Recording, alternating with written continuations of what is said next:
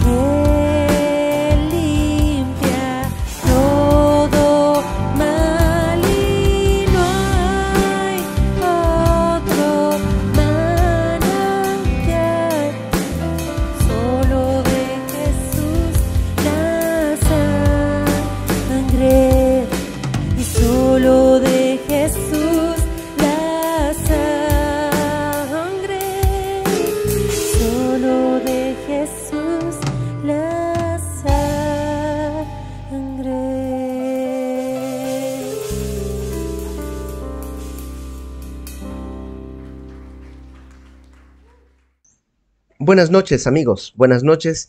Gracias por conectarse, gracias por estar aquí. Eh, como podrán darse cuenta por mi tono de voz, probablemente se escucha, ando lastimado de la garganta y por eso no vamos a poder tener un estudio bíblico de cuarenta y pico minutos porque la verdad no lo aguanto, pero sí quise compartir con ustedes un poquitito, un, pedacito de algo que Dios me permitió a mí este domingo eh, enseñar aquí, en mi país, aquí en mi ciudad, y quería compartirlo con ustedes también. Así que brevemente vamos a tomar nuestras Biblias, vamos a abrir en el libro de Hechos y vamos a eh, orar para comenzar. Señor, gracias porque tenemos hoy la oportunidad de venir a tu palabra. Háblanos, eh, conoces nuestro corazón y nuestras necesidades y confiamos en ti, que tú puedes revelarte a nuestra vida y tú puedes enseñarnos. En el nombre de Jesús, amén. Hechos, capítulo 13. En Hechos 13 tenemos esta escena en la que Pablo es llamado al ministerio a predicar fuera del territorio donde el Evangelio se había movido. Ahora Pablo va a ir hacia las naciones, va a iniciar el primer viaje misionero. Y el primer lugar donde después de salir de Antioquía es en la isla de Chipre. Y después de la isla de Chipre ellos cruzan hacia Panfilia, el día de hoy es la zona de Turquía. Y eh, ahí tenemos el primer discurso, no en Panfilia sino un poquito más hacia arriba, llegan hasta Antioquía de Pisidia. Y en Antioquía de Pisidia Pablo va a dar su primer discurso, un discurso que además Pablo eh, lo hace haciendo una especie de de mezcla del discurso que eh, Pedro había dado en Pentecostés con el discurso que Esteban había dado antes de su ejecución. Entonces Pablo usa los elementos de Pedro y los elementos de Esteban para este primer discurso que tenemos registrado. Y de esto quisiera solo meditar en una partecita. Pablo está predicando ahí en la sinagoga en Antioquía de Pisidia y en el versículo 16, Hechos 13, verso 16, dice, entonces Pablo, levantándose, hecha señal de silencio con la mano, dijo, ahora voy a leer el discurso de Pablo, esta primera parte, y considera los verbos como están puestos todos atribuidos a Dios. Es decir, todo el discurso de Pablo tiene que ver con lo que Dios ha hecho, con lo que Dios hace. Mira, Varones israelitas y los que teméis a Dios, oíd. El Dios de este pueblo de Israel escogió a nuestros padres. Dios lo hizo. Él tuvo misericordia del pueblo. Él escogió, él decidió escoger a los patriarcas. Y él enalteció al pueblo, siendo ellos extranjeros en tierra de Egipto. Eran extranjeros, eran pobres, eran esclavos, pero él decidió enaltecer al pueblo y sacarlos de Egipto. Y dice, con brazo extendido, con brazo levantado, los sacó de la tierra de Egipto. No es que salieron, no es que se escaparon, Dios los sacó. Y por un tiempo como de 40 años los soportó en el desierto. Y los soportó no habla de que como que, ah, ya los tengo que soportar, sino eh, habla de soporte como de, de, sostener, los sostuvo como una columna que soporta una edificación. Así los soportó, los sostuvo en el desierto por 40 años y habiendo destruido siete naciones en la tierra de Canaán, les dio herencia en su territorio. Otra vez, Dios los escogió, los enalteció, los sacó de Egipto, los soportó en el desierto, les dio herencia en su territorio. Después, como por 450 años, les dio jueces hasta el profeta Samuel. Ahí, ya en la tierra prometida, les dio jueces que dirigieran al pueblo, eh, hablando de parte de Dios, hasta el profeta Samuel, que es el último juez, y luego dice, como por 450 años los dio jueces hasta el profeta Samuel, luego pidieron rey. Y les dio Dios, dice a Saúl, hijo de Cis, varón de la tribu de Benjamín, por 40 años. Quitado este, quitado Saúl, les levantó por rey a David, de quien dijo, de quien dio también testimonio, diciendo, he hallado a David, hijo de Isaí, varón conforme a mi corazón, quien hará todo lo que yo quiero. Y ahí está la clave. Dios ha hecho todo esto porque tiene un propósito tiene un deseo. Y David iba a ser, ya que David era conforme al corazón de Dios, David iba a ser la herramienta a través de la cual Dios iba a hacer lo que quería. ¿Y qué es lo que quería? Quería rescatar al hombre de su pecado. quería rescatar a la humanidad de su pecado. ¿Cómo lo va a hacer? Pues lo hemos dicho antes, un hombre pecó, por tanto un hombre debe pagar. No vale sacrificar un cordero, un borrego o ni siquiera un ángel poderoso, porque un hombre pecó, por tanto el hombre debe pagar. La paga del pecado es muerte, entonces Dios se va a hacer hombre para que como hombre descendiente de David vaya a la cruz a pagar el precio de nuestros pecados. Y dice, lo voy a hacer a través de David. Va a ser a través de David que yo voy a hacer lo que yo quiero. Verso 23. De la descendencia de este, de la descendencia de David, y conforme a la promesa, Dios levantó a Jesús por Salvador a Israel. Pablo les está explicando, había una promesa, 2 Samuel capítulo 7, Dios le dice a David, de tu descendencia levantaré un rey cuyo reino no tendrá fin. Y esa promesa no la cumplió con Salomón, y no la cumplió con Roboam, y no la cumplió con el rey que siguió, ni el que sigue, ni el que sigue, ni el que sigue. El reino entero cayó conquistado por Babilonia regresaron 70 años después, pero no hubo rey. Y vinieron, vinieron muchos periodos de historia, vinieron los griegos, los persas, vinieron los romanos, y no se había cumplido. Y Pablo lo que está diciendo es que algo sí se sucedió.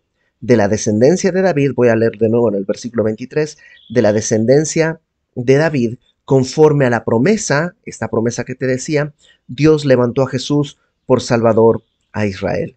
Antes de su venida, predicó Juan el bautismo de arrepentimiento a todo el pueblo de Israel. Mas cuando Juan terminaba su carrera, dijo, ¿quién pensáis que soy?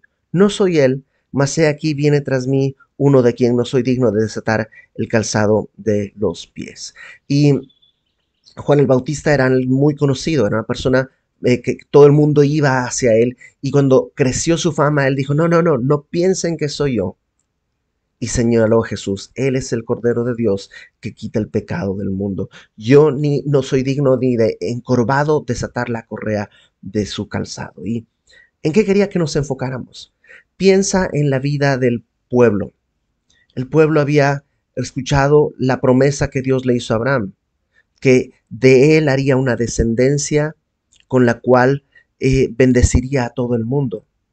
Pero unos años después están en Egipto están esclavizados, viven mal, y Dios hace la promesa de que los va a sacar y los saca.